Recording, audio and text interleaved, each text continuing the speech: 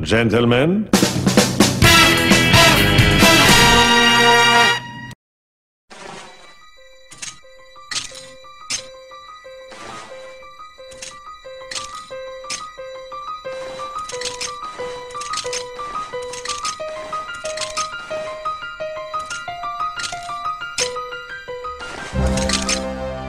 Okay everybody, so once again, here's the move.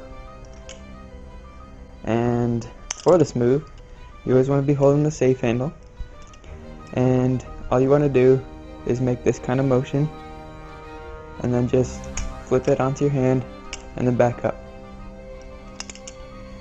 And um, you want to make sure that you're actually switching your grip on the safe handle from this to this and then you'll flip it back around so once again here's the move and there you have it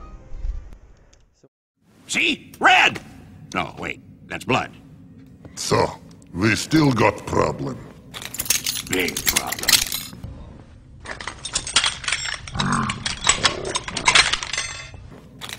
Big problem. everybody here is the move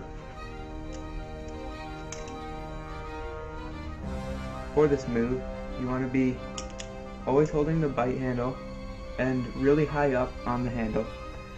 For this move you want to be making a horizontal movement like that. And you want to just swing the safe handle on the back of your thumb just like that. And to finish the move you want to be grabbing the safe handle and just flicking it back up. So once again holding the bite handle onto the back of your thumb and then grabbing it and swinging it back up. And the move should look like this.